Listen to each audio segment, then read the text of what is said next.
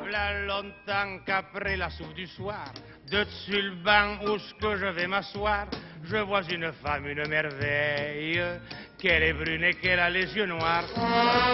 En fait, femme, je n'en connais pas d'état, mais je me dis, en voyant ses apparts, sûrement que des beautés pareilles, je crois bien qu'il y en a pas.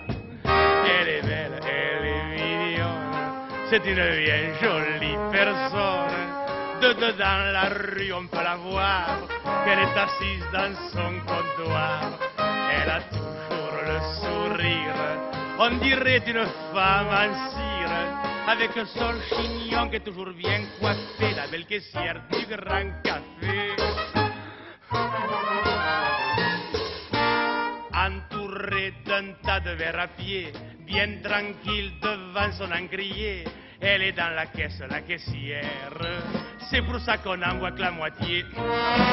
Et moi que déjà je l'aime tant, je dis tant mieux qu'on monte pas le restant, car si je la voyais tout entière, je deviendrais fou complètement.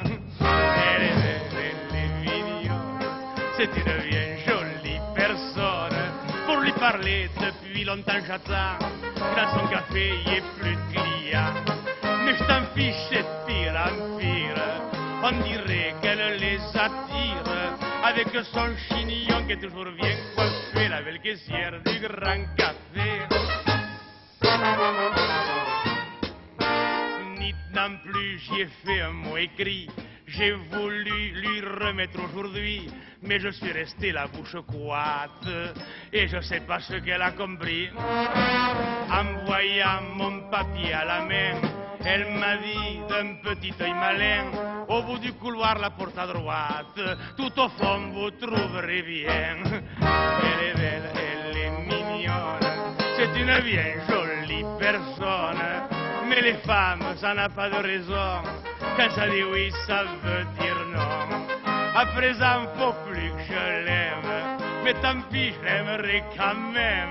Et j'oublierai jamais le chignon bien coiffé de la belle caissière du grand café.